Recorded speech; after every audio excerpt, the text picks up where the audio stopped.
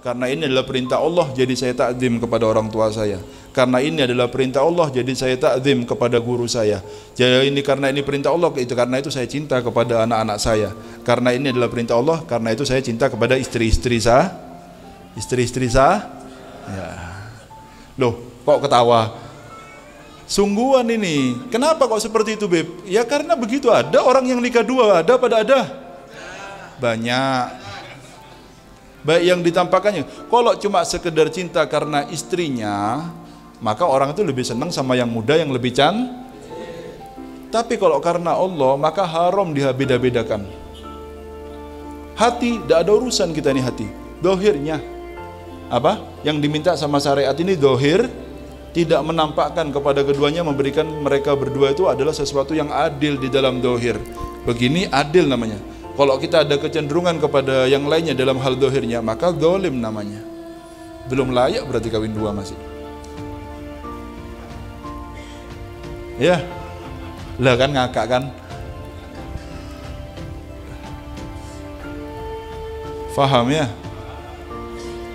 Kan jangan dibuat tabu, jangan dibuat ta, jangan dibuat tabu. Bukan hal yang aneh ini, hal yang lumrah.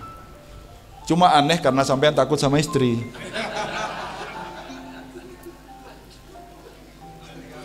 Membuat aneh itu karena suami takut sama is. Mumpung tidak ada istri saya ini ya. Dan enggak.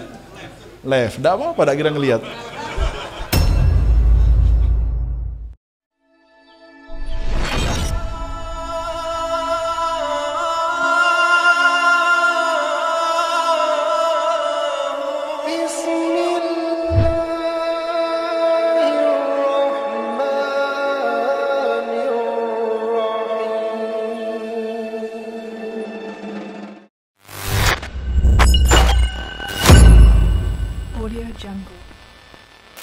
Bulan Maulid telah berlalu bagi kita semuanya tetapi tidak ada kata selesai dalam mengungkapkan rasa cinta dan rindu kepada Nabi Muhammad sallallahu alaihi wasallam.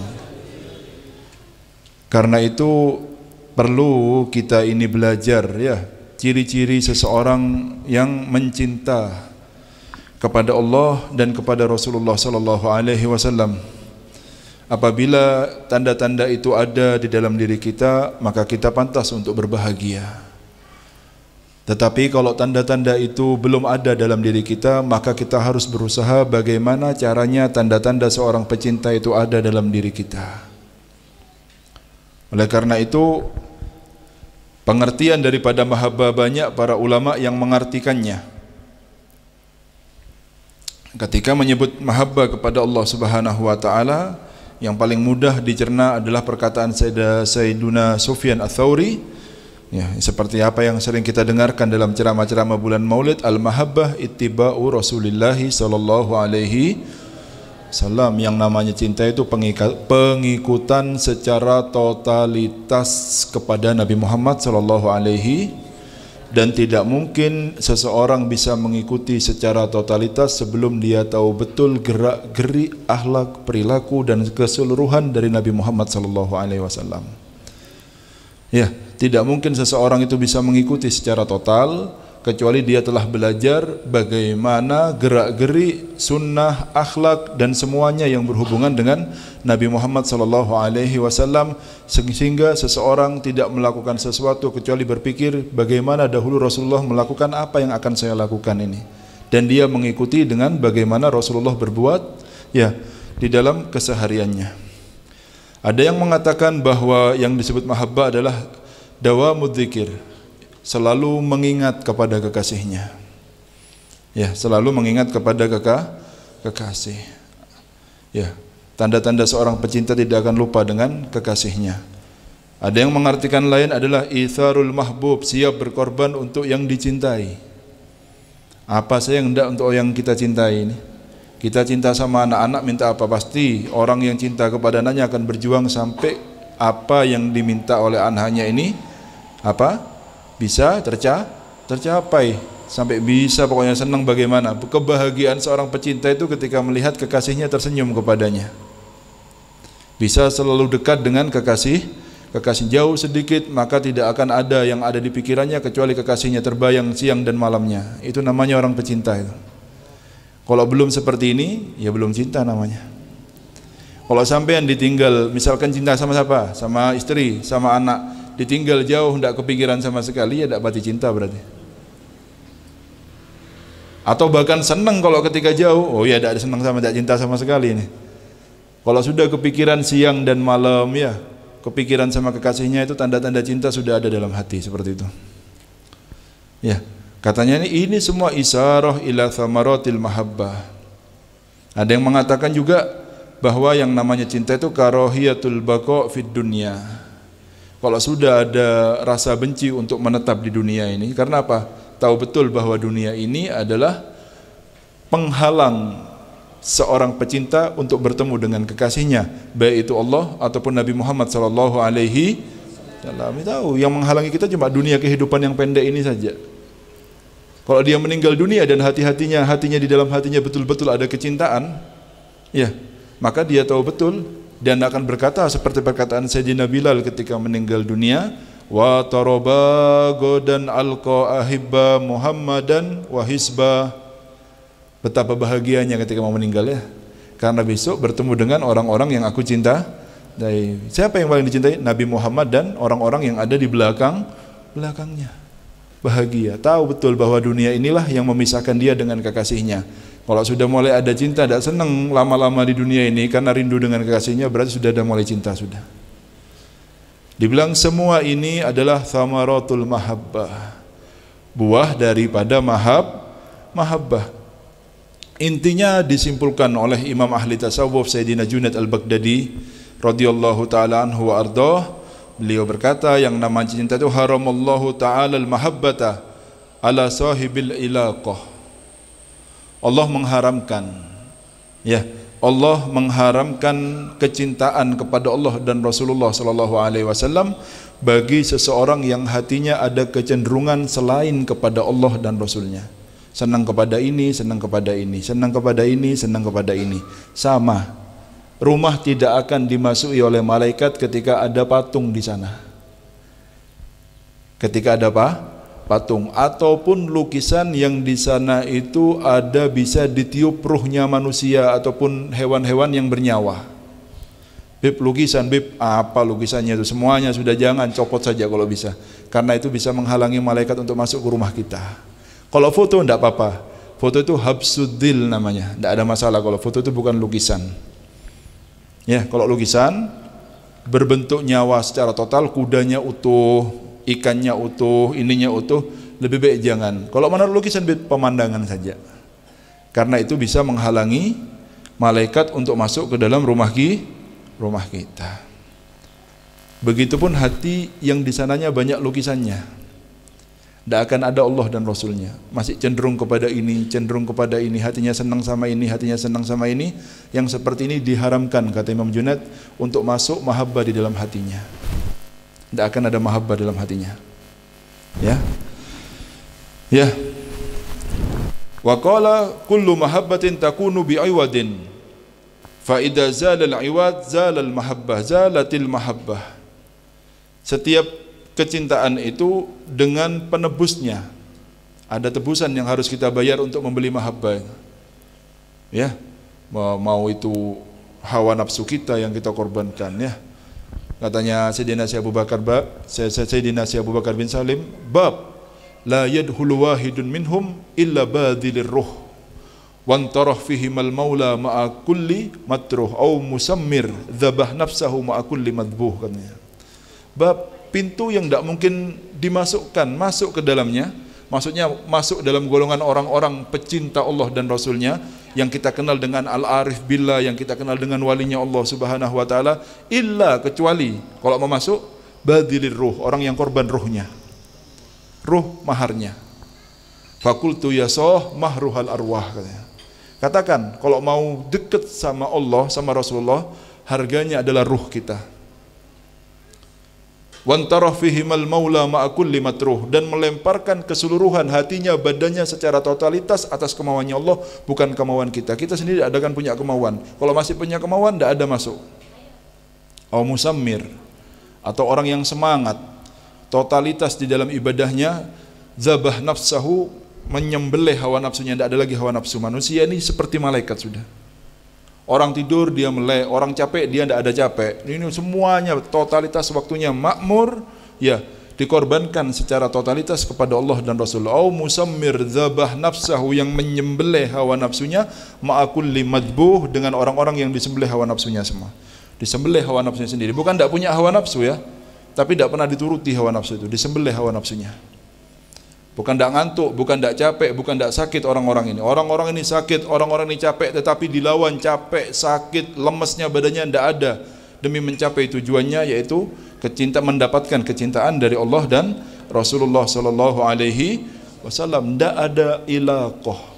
Sampai Sayyidil Habib Umar bin Muhammad bin Salim bin Hafid beliau berkata man kana man idza kana abad bi ghairillahi muallaqah kana babul wusul ilaihi muglaqah Ya, idza kana apabila hati seorang hamba itu kepada selain Allah dia itu cenderungnya ada kecenderungan kepada selain Allah. Apa pun namanya ya, bukan hanya kepada dunia, apa pun namanya itu. Apa pun nama, apa pun namanya. Kana babul wusul ilaihi muglaqah pintu untuk dia sampai menjadi orang yang dekat sama Allah tertutup rapat, tidak dibuka sampai hati kita betul-betul tidak ada kecenderungan kecuali kepada Allah dan kepada Rasulullah Sallallahu Alaihi malam Jumat. Mungkin teman-teman banyak yang hadir dan yang hadir perlu diulangi lagi tapi. Sebetulnya kita ini siapa? Dan apa kita ini? Coba kalau kita mau berpikir sejenak saja kita renungkan siapa diri kita ini Sampean lahir ke dunia ini ada yang milih. Lahir di perutnya siapa? Ada? Da'a? Pilihan yang menentukan all? Ya kalau bisa milih, ya jadi cucunya Nabi Muhammad semuanya. Kalau bisa mi, ya benda? Iya. Tidak ada pilihan kita ini. Mau lahir dari perutnya siapa? Atau orang tua kita siapa? Atau kalau tidak cucunya Nabi Muhammad ya cucunya kayak yang besar gitu yang wali-wali yang alim-alim itu kalau mau milih. Tapi kita tidak mempunyai pilih tidak punya pilihan. Lahir ke dunia dengan wajah seperti ini seperti kita masing-masing. Ada pilihan sampean? Tidak ah. Bawa sesuatu ketika lahir di dunia? Tidak ah. Cerdas dan bodohnya otak kita. Itu kita yang memilih atau pemberian dari Allah Subhanahu wa taala sehat dan sakitnya badan kita itu pemberian dari Allah apa pilihan kita sendiri? Bisa tidak seandainya Allah mengambil sehat di badan kita sehingga kita besok langsung sakit? Bisa apa enggak? Atau kita sekarang kaya diambil sama Allah besok jadi miskin? Bisa apa enggak? Atau sebaliknya kita sekarang miskin langsung dikayakan sama Allah besok bisa apa enggak? Atau tenaga kita yang kita ini merasa kuat dengannya diambil sama Allah sehingga kita tidak mempunyai tenaga bisa apa enggak? Atau kecerdasan kita yang kita ini sangat bangga dengan kepala kita ini dengan diambil kecerdasannya sehingga kita bodoh tidak punya ilmu apa-apa bisa apa enggak dalam intinya sampean itu tidak bisa apa-apa. Sehingga kalau ada seorang hamba yang merasa saya yang melakukan saya yang ganteng saya yang punya jabatan saya yang berusaha saya yang apa berarti orang itu tidak tahu diri. Peraturan semuanya sudah ditetapkan. Kita ini datang ke dunia tidak bawa apa-apa, meninggal juga tidak membawa apa-apa. Kalau kita mempunyai apa-apa ketika di dunia, itu murni adalah pemberian dari Allah, cuma orang yang bodoh merasa kalau itu dari usahanya. Orang yang bodoh itu yang berkata bahwa ini adalah usaha sah. Dia punya otak itu kecerdasan bisa berusaha seperti itu dari siapa otak itu? Dari siapa? Dalam artian apa? Kita ini tidak bisa apa-apa sebetulnya. Kok terus sekarang ini manusia tidak bawa apa-apa meninggal terus merasa hebat, merasa dirinya lupa sama yang memberikannya yaitu all. Dalam artian orang yang cerdas itu yang menyerahkan dirinya secara totalitas kepada Allah karena kita ini tidak pernah mengatur diri kita sendiri sebetulnya. Keinginan yang terjadi di atas muka bumi ini adalah keinginannya Allah bukan keinginannya kita. Atur yang baik, kalau Allah tidak berkehendak tidak akan bisa. Walaupun tanpa rencana tetapi Allah berkehendak akan terjadi. Faham semuanya ya? Oleh karena itu orang yang menyerahkan dirinya kepada Allah itu dengan cerdasnya, karena cerdasnya. Tetapi orang yang dia itu masih bersandar kepada otaknya, kepada perbuatannya, pasti dia akan roboh pada suatu saat karena dia bersandar dengan rukun yang sangat lemah sekali. Sudah, makanya tidak ada adnal ilaqah li tidak ada sedikit pun hati ini pautan kecuali hanya kepada Allah Subhanahu wa taala. Hati yang seperti inilah yang pantas untuk mendapatkan mahabbah dari Allah Subhanahu wa taala. Oleh karena itu berkata Ibnu Jalla rahimahullahu taala auhallahu ila Isa alaihi salam Allah mewahyukan kepada Nabi Isa alaihi salam. Apa katanya Allah? Apa firman-Nya Allah? Inni idza tala'tu ala sirri abdin sesungguhnya aku katanya Allah apabila aku melihat di dalam hati seorang hamba walam ajid fihi dan aku tidak mendapatkan di dalam hati tersebut hubbad dunia cinta kepada dunia malak tuhu min hubbi. Aku akan penuhi hati tersebut dengan kecintaannya kepadaku. Dilihat sama Allah hatinya. Tidak ada cinta sama dunia. Dikasih mahabbah ini sama Allah. Ketika tahu sumber penyakitnya ini maka kata Rasul sallallahu alaihi wasallam hubbud kulli khati'atin induk dari semua penyakit di dunia ini sampai ada semua penyakit hati itu yang namanya sombong, yang namanya hubur riasa, cinta pangkat, cinta pamor, cinta apa itu karena adanya cinta dunia dalam hatinya. Sebabnya penyakit semuanya. Ya, wa tawallaitu bihifdi dan aku akan memberikan menjaga dia dengan penjagaanku katanya Allah Subhanahu wa taala. Dalam artian hatinya dan badannya tidak mungkin ada keinginan untuk bermaksiat kepada Allah Subhanahu wa taala. Ini bisa bagi orang-orang yang tahu harga hatinya. Ya. Sehingga Zannunil Misri beliau berkata apa? Kul katakan liman adhara hubballah orang-orang yang dia itu berkata saya cinta sama Allah Subhanahu wa taala, ihdar antadilla li ghairillah. Hati-hati. Jangan sampai merendahkan dirinya nanti selain kepada Allah Subhanahu wa taala. Jangan sampai merendahkan dirinya kepada selain Allah. Ada pejabat, uh, gawatnya setengah mati. Jangan. Ada orang kaya, hormatnya setengah mati hati-hati. Beb, kalau sama orang tua begini, kita juga terangkan sudah malam Jumat ini. Itu adalah cabang dari penghormatan kita kepada all. Kan kita ceritakan ya bagaimana cerita Sayyidina Hasan ketika bertanya kepada Imam Ali bin Abi Thalib. Ketika tanya, ya abatah, wahai orang tua saya, wahai bapak saya, panjenengan cinta tidak dengan kakek saya Rasulullah Sallallahu Alaihi Wasallam? Dijawab apa? Cinta. Kalau sama nenek, cinta. Kalau sama umi saya Fatimah Zahra, istrinya Sayyidina Ali, cinta. Sama saya, cinta. Sama Hussein, cinta. Gimana? Punya hati berapa sampean ini kok sampai bisa cinta sama banyak orang? Senyum ya Imam Ali bin Abi Thalib lalu berkata, semua yang kau katakan itu adalah cabang dari kecintaan saya kepada Allah. Maksudnya, biar sampean paham semuanya ya. Ini orang tua kita.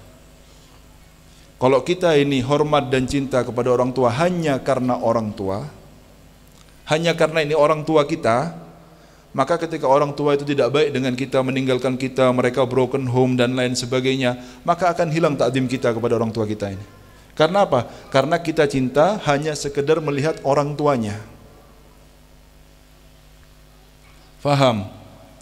Tetapi kalau kita ini menghormati, mencintai orang tua karena Allah Subhanahu wa taala, mau orang tuanya soleh, toleh. Toleh itu lawannya soleh ya, jelek maksudnya ya. Ya, jelek mau bagus, mau ahli ibadah, mau ahli maksiat, mau apa apa tidak ada urusan. Kita menghormati orang tua kita, kita cinta karena itu adalah perintah dari Allah, bukan karena zat orang tuanya. Sehingga apa? Kita hormat dan cinta kepada orang tua itu bukan karena orang tuanya tetapi karena Allah Faham? Faham? Akhirnya sampai nanti kalau dimusuhi orang tuanya galak, ini apa semuanya benci sampean sama orang tuanya. Karena apa? Karena sampean cuma melihat orang tuanya, bukan karena Allah Subhanahu wa taala. Sama begitu anak. Anak ini. Kalau kita cuma mencintai anak kita karena ini anak kita, Ya selesai sampean. Nanti anaknya ucul ke mana ini apa semuanya. Pasti akan ada perbedaan hati. Perbedaan hati itu bagaimana? Kalau yang ganteng, yang lebih pinter, pasti orang tuanya lebih senang. Ini hitam, bodoh lagi. Ya dapat dilihat. Yang dibawa jalan-jalan kira-kira yang mana? Yang ganteng, yang pinter. Lah, ini kalau melihat cuma sekedar daripada anaknya. Tetapi kalau karena Allah, maka haram orang tua itu membeda-bedakan di antara satu dengan yang lain. Karena apa cintanya? Karena Allah. No. Faham ya? Itu semua cabang daripada kecintaan saya kepada Allah karena ini adalah perintah Allah jadi saya takzim kepada orang tua saya. Karena ini adalah perintah Allah jadi saya takzim kepada guru saya. Jadi ini karena ini perintah Allah itu karena itu saya cinta kepada anak-anak saya. Karena ini adalah perintah Allah karena itu saya cinta kepada istri-istri saya istri-istri saya ya. Loh kok ketawa? Sungguhan ini. Kenapa kok seperti itu Beb? Ya karena begitu ada orang yang nikah dua ada pada ada banyak. Baik yang ditampakkannya kalau cuma sekedar cinta karena istrinya maka orang itu lebih senang sama yang muda yang lebih can tapi kalau karena Allah maka haram dibeda-bedakan hati tidak ada urusan kita ini hati. Dohirnya. Apa? Yang diminta sama syariat ini dohir. Tidak menampakkan kepada keduanya memberikan mereka berdua itu adalah sesuatu yang adil di dalam dohir. Begini adil namanya kalau kita ada kecenderungan kepada yang lainnya dalam hal dohirnya, maka dolim namanya. Belum layak berarti kawin dua masih. Ya, lah kan ngakak kan. Faham ya? Kan jangan dibuat tabu, jangan dibuat ta, jangan dibuat tabu. Bukan hal yang aneh ini, hal yang lumrah. Cuma aneh karena sampean takut sama istri.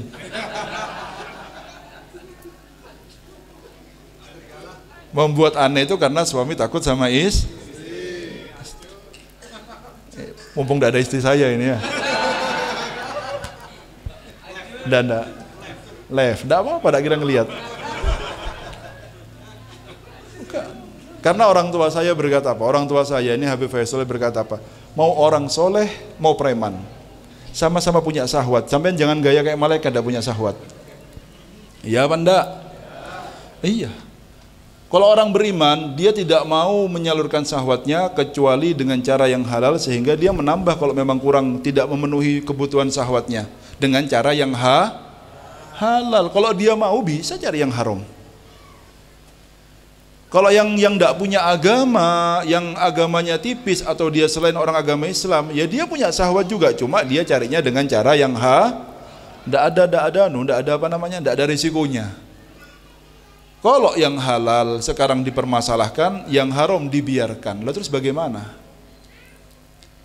Sama-sama punya sah.